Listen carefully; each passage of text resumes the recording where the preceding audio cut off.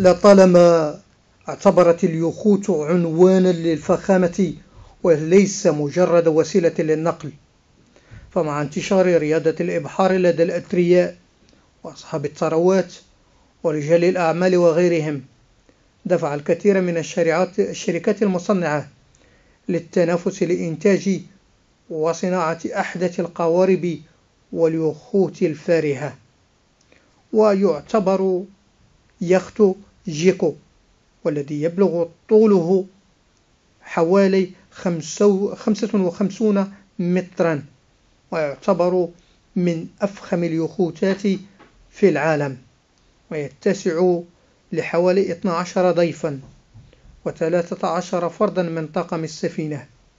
وسوف يصبح جيكو أدميرال جاهزا للإبحار ابتداء من يونيو 2020 ويتميز هذا اليخت بالمساحات الخارجية الكبيرة بحيث يستطيع الضيوف الاختيار بين التراس الشمسي الذي يركز على الصحة ويتكامل مع صالة رياضية وبركة سباحة وناد في حين يتميز الجزء العلوي على سطح السفينة بمساحات داخلية وخارجية رائعة للتأمل ويحتوي اليخت على جناح النوم الرئيسي من الطراز الرفيع الذي يتسع لحوالي 12 ضيفا كما يوجد غرفة طعام غرفة طعام خاصة إلى جانب الصالون الرئيسي المزين بالثريات المذهلة.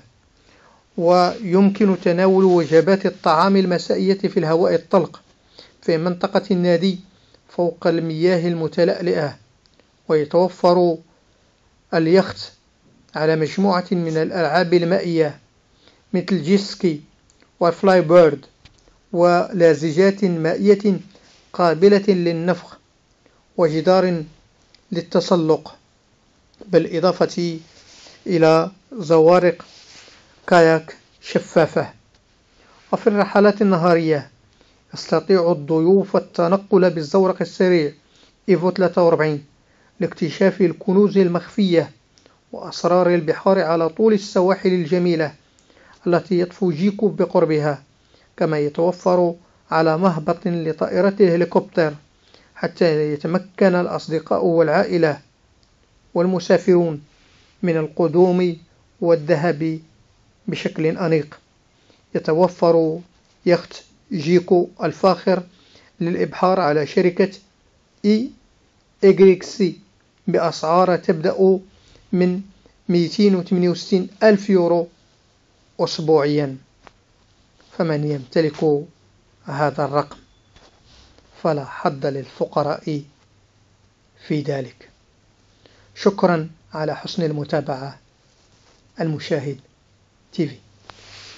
قبل ما تخرجوا ما تنسوش تابوناو في la chaîne YouTube وبارطاجيو الفيديو مع أصحابكم في مواقع التواصل الاجتماعي. وما تنسوش ديروا j'aime.